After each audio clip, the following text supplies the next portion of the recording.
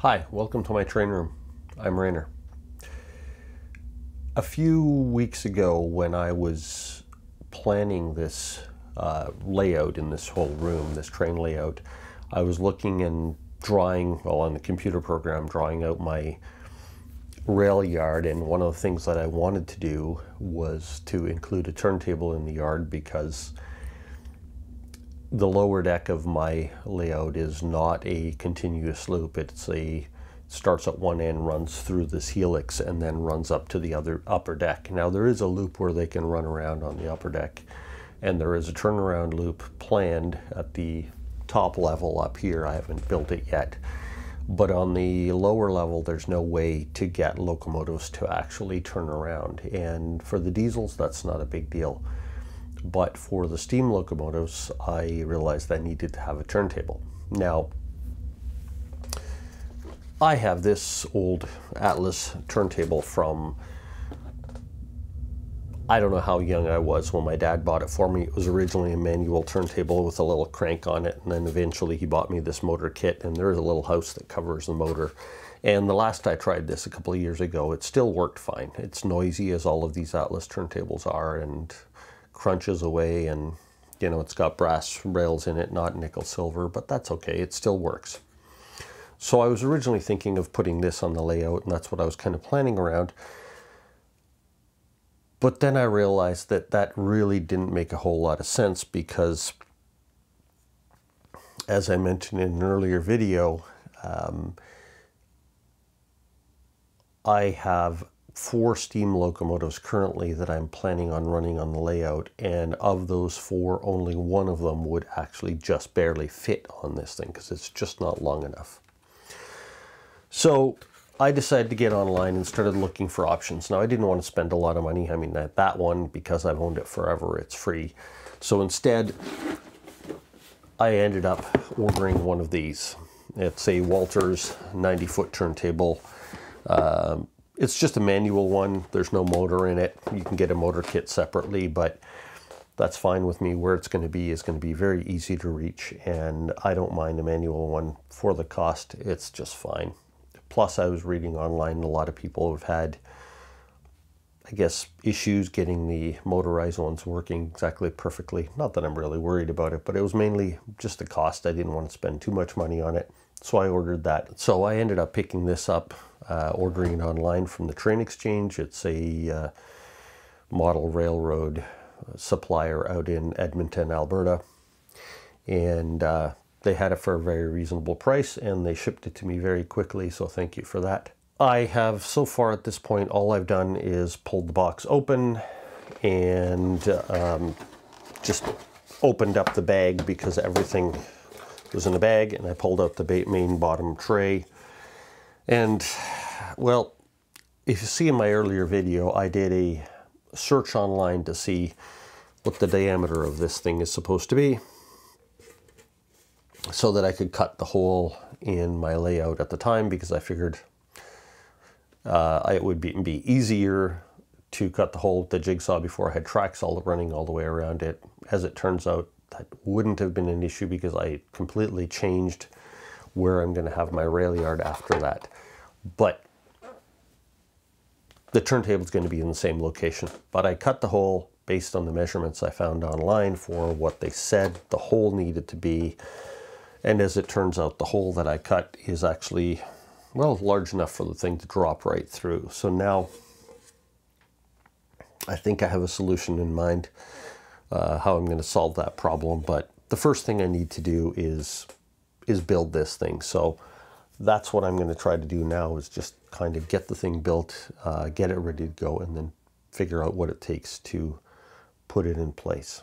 So I'm just going to start gradually working through this. This is a long time since I've built a model kit of any kind, uh, quite a few years. So I'm just going to start picking my way through this kit, trying to read the instructions I best I can and uh, see how this goes. And uh, hopefully you'll be able to see how it turns out at the end. Okay, well, I filmed that part before I actually read the instructions or got started on it. Once I started reading the instructions, I realized that I probably would be better off to turn this into a tutorial of how to actually build this turntable because these instructions, they're just not very good. And beyond being not very good, they're actually wrong. I've read online where people were frustrated trying to build this thing and if they try to follow these instructions, I can understand why, because a lot of it doesn't make sense. And for much of my life, I have been building things and assembling things for a living, and I've also been writing instructions on how to assemble things for a living. At this instruction set is a fail. So this instruction set consists of the first page of basically history of turntables and what they were used for, which is all wonderful, but it doesn't help you assemble it. Back is a blank page, so the entirety of the instructions are these two pages. And if you go through, there are steps 1 through 20. So normally, following instructions, you start at step 1 and follow through to step 20. If we look at the instructions for the assembly, so let's see what happens when we try to follow the instructions. And that's what I did. So first of all, of course, I opened all of the packages and made sure that as far as I could tell, all the parts were there. I identified the parts, figure out what was for what. There were all of the plastic pieces on the sprues. There was the main tray or the bottom pit for the turntable. Uh, and then there was a few other items, like a few little screws with nuts, machine screws with nuts. There were a couple of little brass rings, which I figured out what those were for. There was a couple of copper wipers, like copper strips, that are for the electrical contacts onto the brass rings. I'll show you that later. And then there was a length of wire. I don't, don't know, I just, you know, thin wire, so long. So I looked at it, it looked like everything was there, so I thought, let's see if we can follow these instructions and build this turntable. So it says place the upper bearing, number 21, into the pit. Use a small amount of CA type cement to hold it in place. Okay, so that part is fairly clear. That was just a matter of finding the piece on the sprue, taking the turntable pit, test fitting the part, making sure it fits, gluing it into place. So far so good. Step one is done. Place the lower bearing 22 into the recess of the mechanism cover. So, where is that? Oh, that's on the drawing on the page on the other side. Mechanism cover at the bottom, another little black ring. Okay, put that in, glued it into place. No real big problem there. Then it says assemble the bogie halves 17 and 18 together with the wheels 20 sandwiched in between and turning freely in the cone-shaped bearing surfaces. Okay, not a big deal again each one of the bogie halves. There's an inside and outside numbered on the sprue, as typical with building models, and the wheels. So what I did was I glued them together and then I used a couple of little wooden clothes pegs just to hold them together until the glue set. So far, we're doing just well. That's finishing, oh, no, step number three. And then glue the bogie assemblies to the pockets at the end of the bridge. Again, not a big deal. I just did that, followed through, and uh, we are now at the end of step number three. So far, so good. Now, place the bridge upside down on your work surface and set the pit upside down on top of it with the bridge shaft going through the hole in the pit. So I did that, and I looked at it. I'm not sure why I did that, because it doesn't follow with the instructions. I now had the pit upside down with a little black shaft sticking out through the middle of it. Okay, that was step number four. That was easy. Step number five, glue the simulated motor housing sides 15 and 16 to the underside of the bridge deck. So the bridge deck is not the bridge that's hidden underneath the pit. The bridge deck is the top part that the rails go on. In On my kit, it was brown in color. It looks like a little wooden ties going across. There's a place to put the rails. And on one side of it, at one end, there's a bit of a protrusion or an extra little platform there you're supposed to glue the simulated motor housing sides. It's just a couple little pieces of plastic that are numbered, not a problem. So I glued them on. Then position but do not glue the deck onto the bridge. The bridge is underneath my turntable pit upside down on the table. So now I have to turn it back right side up. And of course the bridge falls out because it's not attached with anything, but that's okay. So I did that. So I'm not sure why I was supposed to turn the pit upside down on top of the bridge because I didn't do with anything with it in that position. So the instructions are a little bit becoming confusing at this point. I flipped it over, took the bridge, put the deck on it, tested it. Yep, it fits. Remove the deck and feed the track power wires between the ties of the deck, closest to the center of the deck lengthwise and between the inner guard timbers and the walkway boards. Glue the bridge to the deck and pull the wires all the way out through the deck. There is no drawing at all of what they mean by all of this. None whatsoever. And as I mentioned, there was only one wire in the kit, a longer piece of wire. So this is when I realized that these instructions were going to have to be interpreted loosely and that I was going to need to figure this out myself if I was going to get it done because that set of instructions didn't make any sense. Let's read on. Cut two pieces of rail, not included, I knew that, slightly longer than the bridge. Place the rails on the bridge, overhang equally at the end, but do not glue yet. Mark each rail where it's closest to a wire. Well, here's the thing. The gaps between the ties on that bridge deck are very tight. And Yes, you can put a wire through it. I suppose you could attach it to a rail, but it's really hard with a lump of solder on the bottom of the rail, no matter how neatly you solder to get that rail to sit flat on the bottom. So I decided that I am doing this in a different order. And I think at this point, it would make sense to do a little bit of time travel or a little bit of a quick video edit and I will jump forward to show you what the end product is supposed to be underneath and how this thing is supposed to electrically work. And then you'll maybe understand what I was getting at and what the end goal was. Because these instructions, without having an idea of what you're supposed to end up with at the end, these instructions are not really going to get you there. And I'll show you that. But let's jump forward for a sec. So this is the turntable almost assembled and ready to go in the layout. The bottom cover still needs to be put in place and screwed on with four screws, but this is a good time to show you how it's actually supposed to work from an electrical standpoint. Now this gear really isn't necessary here other than to hold and hold everything in place. It's kind of a spacer. It's there for um, being the drive gear if you decide to add an electrical drive motor kit to it later. I likely won't be doing that, so it's basically just working as a spacer between these brass rings and the, the bottom of the, the turntable. But from electrical standpoint, what I have coming in is two wires that will be feeding the power to the track that's in the turntable. They are connected, um, soldered to these two copper strips, which are kind of the, the wipers, I guess you want to call them and uh, those wipers are screwed to this plastic piece that's glued to the turntable. Now, in the instructions, it tells you to loop the wires and just tighten them under these two nuts. I decided to do that because I was, I decided not to do that because I was concerned that the wire being under those nuts might make the nuts work loose and then not hold these wipers in place securely. So instead, I soldered the wires to the other side, tighten these screws up nice and snug and actually put a little bit of super glue on the other side so to make sure that these wipers don't rotate in their position and short out. I also put some electrical tape, happens to be white, color doesn't matter, but I had some white electrical tape I just put around them to try to prevent any accidental shorts as well.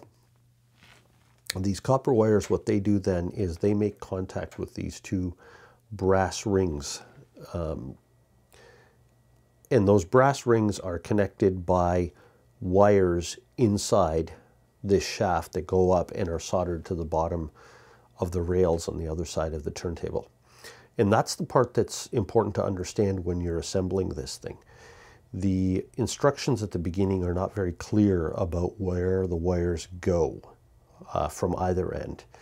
And that's the part that could, I guess, confuse you if you're not following through very carefully or if you're not understanding the whole picture.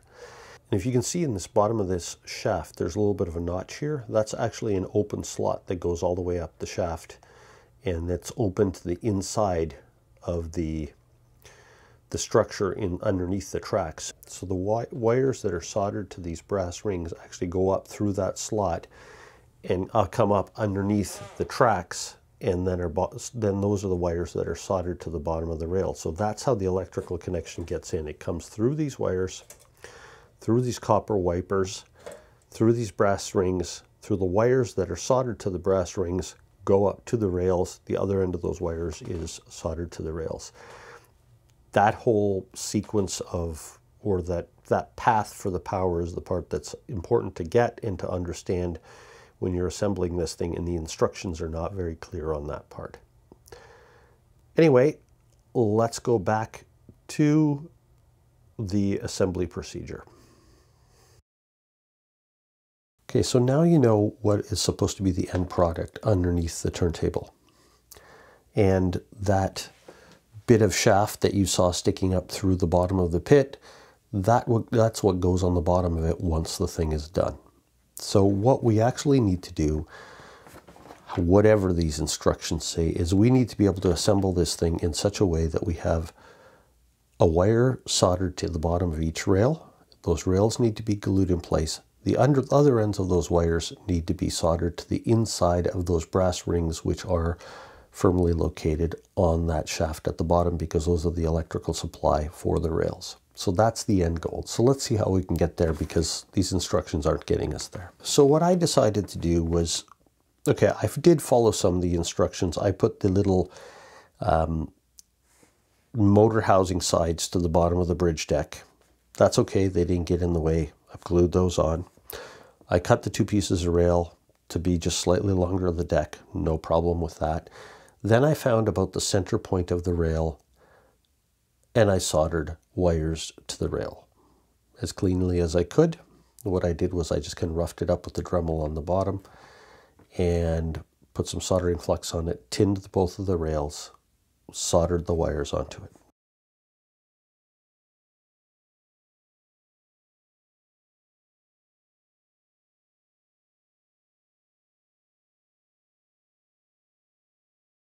What I then did was I actually cut a few little pieces of tie out from underneath the rails exactly where the wires are going down to give me clearance for the little the end of the wire and the solder so the rail would sit flat across the entire bridge deck. I thought that kind of made sense to do it that way. I then fed the wires through those holes with the rails laying loosely on top of the bridge deck. Continued to feed the wires through the bottom part of the bridge and out through the slot in the bottom of the shaft so that the wires, the other end of those wires were protruding through the bottom of the other end of that shaft. Once I had them in place, I used a little bit of the green painter's tape to just loosely hold the rails on top of the deck. And I also wrapped some around the bottom of the shaft so the wires wouldn't accidentally get pulled inside. Then I glued the bridge deck to the bridge because before I glued the rails to the deck, I wanted that deck to be held flat. And if I just tried gluing to the rails to the bridge, to the deck without it being attached to the bridge, I was worried that I could end up with a little bit of a curve up or down and that wouldn't make the turntable work very well when I was done. So what I did at that point with the rails kind of loosely on the one side, the wires hanging out the shaft on the other end, I glued the bridge deck to the bridge. Now, there is something in the instructions that is mentioned, and I noticed, and it, this is important, uh, on the side of the, the bridge itself, at one end, you will see a couple of holes. The, the end with those little holes in the side are the ones that is the end that goes underneath your little engine cover that you've put on or that little extra platform that's sticking out of the bridge deck. So make sure you put the deck onto the bridge the right way around. It will fit either way. The problem is you need those little mounting holes later in the procedure. Once I had the bridge deck glued to the bridge and the glue had set so that I knew it wasn't going to move, I then proceeded to glue the rails in place. Now, there are little tabs on both sides. Just make sure you figure out exactly the width where they need to go using, if you don't have a proper rail gauge, just use a set of wheels off of a train car, or I used a little a truck off of a train car and put it on there just to figure out the exact location. And once you figure it out, it's pretty obvious. There are grooves for the rails to sit in, and there are little bumps on both the inside and the outside of the rail to keep it exactly where it needs to go. So what I did was I clamped it in place starting from the middle, just on both sides of where my wire went through, clamped it in, made sure it was nice and vertical and solid and located where I wanted. And then I dribbled a little bit of super glue CA into along the edges of the rail so it would seep underneath and glue that in place. I let that sit for a while to make sure that it set. And then I worked my clamps outward from the center of the bridge on each rail individually and did the same thing, just made sure I centered it until I got all the way to the end. Each time just dribbling a few drops of glue at each one of the, the points where it made contact with the rail to make sure that the rail was good, glued in place. Did that with both rails, and then after that I turned around and got the Dremel with a cutting disc and trimmed the ends of the rails that were protruding so that they would match the end edge of the end of the bridge. At this point, I ended up following the instructions again, which I probably shouldn't have. So at this point, uh, in step nine, after it tells you to cut the rails, which I've done, even though I didn't follow everything up to there, it tells you to assemble the cab and, and glue that to the deck. My advice is, even though I did that, leave that till the end. There's no reason not to leave the cab and all the railings above the thing to be done after everything else is assembled. You're much less likely to break them, and when you're turning it upside down, you don't have to worry about breaking them or crushing them. As it was, because I put the cab on there, I had to do the rest of the work with the uh, turntable upside down on top of a couple blocks of wood, so that the little cab wouldn't get crushed. So if I was going to do it again, I wouldn't put the cab on until I was done everything else. But that's just an aside. So in number 9, it says assemble the cab. Number 10, it says assemble the power arch. And then it's number 11, it says glue the handrails on it. I wouldn't do any of those until I was done the whole thing because they're just going to be sticking out the other side when you're working on it and likely to break. Glue the simulated turntable drive support into the holes in the bridge side and follow that. Okay, definitely I would do that at this point because it's going to be in the turntable pit and protected and it would be more awkward to glue that into place after you're done. So I would go and do number step number 12 on my page next. Step 13, place the metal washer onto the shaft. Ah, so what this means is this is where we take the bridge and put it back into the turntable pit turn the whole thing upside down, even though the instructions don't tell you that. It says remove the big gear from the sprue and place it on the shaft as far as it will go on top of the washer. Okay, I did that. That's okay. Glued it in place. After this step though, you have to remember you can't take it apart again. Once that gear is in place, the two parts, the bridge and the turntable pit are not coming apart. Step number 14, cut two pieces of wire about five inches long. Why? If I had followed the earlier instructions, it told me to solder wires onto the rails. So by the earlier instructions, wires are already soldered onto the rails, except that in the early instructions, it doesn't even tell me to pass those wires through the bottom of the shaft. It tells me to put them in the middle of the bridge somewhere, but it doesn't tell me to pass them out through the slot in the bottom of the shaft. Fortunately, I figured that out before I glued it all together, and so I had wires coming through the bottom of the shaft and accessible. The instructions don't actually tell you to do that. Instead, it tells you to cut two pieces of wire about five inches long. Strip about a quarter inch of insulation from each end. Solder the free end of one of the wires to the inner surface of the brass tube, 35. Repeat with other wire and tube. Okay, that's interesting. Slip one of the tubes on the bridge shaft, feeding the wire into the slot and through the shaft. Here's the problem. It tells you to feed it through the slot and into the shaft, but you've already glued the deck onto the bridge on the other side with wires hanging down from it. How are you connecting those wires together? Because they are completely inaccessible.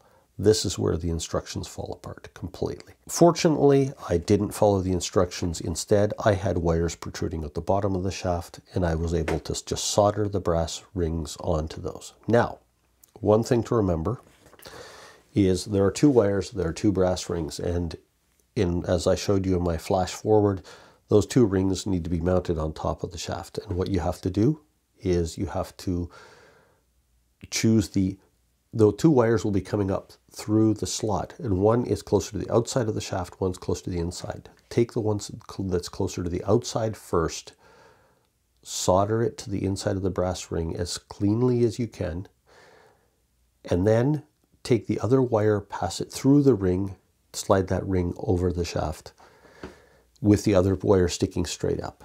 Next step, very important, because if you don't do this, it's not going to work. There is a little black insulator ring, number 28. Take that, pass the top wire through that ring and set that little ring on top of the brass ring you just put in place. Now you can take the second brass ring, solder the wire into that, and then feed the wire down inside, push the excess wire into the shaft inside, and it should all fit together. Now it is going to be a tight fit to push all this down, but that way it works. If you choose the wrong wire to solder it onto on the first ring, what happens is the wires are trying to cross in that slot when you go to put the second one on and there isn't enough room to wire cross the wires and still be able to push them down inside. So make sure the bottom ring is connected the outer wire and the inner wire continues up to the top ring when the, when the turntable is upside down. So in the next step, it says, using the machine screws, attach the electrical wipers to piece 26. Do not tighten the nuts yet. Temporarily place the piece 26 into position to see if the wipers must be bent to make good uh, contact with the brass tubes. So what I found was I just glued that thing into place and then screwed the wipers on using the little machine screws and the nuts, and I tightened them up. What I did do was put a little bit of electrical tape as recommended in here to make sure that they don't short together. And then instead of, as they mentioned in the next instruction, of loosening one of the nuts and wrapping the wire under the nuts, I left those nuts nice and tight and I soldered the wires to them as I showed in that earlier flash forward video. I wanted to make sure it's a good contact and I don't want those wipers to move. What I did actually for the wires to go out is I drilled a couple of holes inside in the side of that box to give a nice clear path for the wires to come out rather than being pinched somewhere else because I couldn't see a good place to put them that were not going to be a problem. Then the final step was to screw the cover on and place the turntable on my layout. I still have to put the handrails on the turntable, but that's okay. I did put the arch on the top I have the little cab on there. The handrails can wait until I get all the electrical connections done. Regarding what I mentioned about the hole in my benchwork being too large, so the hole wasn't large by too much. So what I did was I cut back the cork on the benchwork a little bit to create maybe a 3 eighths of an inch strip all the way around. And then I glued some cork vertically to the inside of the hole to make the hole a little bit smaller and then I glued a new strip of cork around the top that I cut carefully to be the exact size for the turntable. So at this point I have the turntable positioned on the deck and I think it's going to work just fine. The next thing I need to do is run the track work to it and connect all the power wires and get it working. Um, regarding the quality of the turntable, it isn't exactly a super solid thing. It is a the pit is a big plastic bowl, so there's a little bit of flex to that. Uh, but I think it'll work fine for my purposes. I have no idea how the powered versions would work, but I'm okay with it the way it is.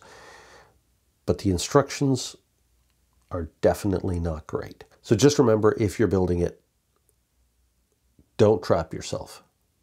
Uh, in hindsight, you could start from the bottom or start from the top, but if you solder wires to the rails, make sure that you have them pass through the slot in the bottom of the shaft all the way through before you assemble everything else. Because once you glue that bridge onto the deck, it's almost impossible to access the inside of that shaft to get at the wires to pull them through or push them through or anything. Similarly, once your deck is glued on, there's no way you're going to be able to pass wires up to glue them onto the rails anymore very well. So try to get all the wires through before you glue it all together and it should go together a little bit better. I think the problem is that people start following these instructions without a full clear picture of what the end result needs to be and as a result they get themselves trapped with wires going who knows where. Anyway, hopefully this is helpful for somebody. It's a lot longer than I intended this video to be, but I really didn't know how to cover in any other way because the instructions are a, are a fail. And uh, yeah, if you like this video, click the like and subscribe to see more. Hopefully the other ones aren't quite as long as this is turning out to be, but you know what? If it's helping somebody, great. And see you next time.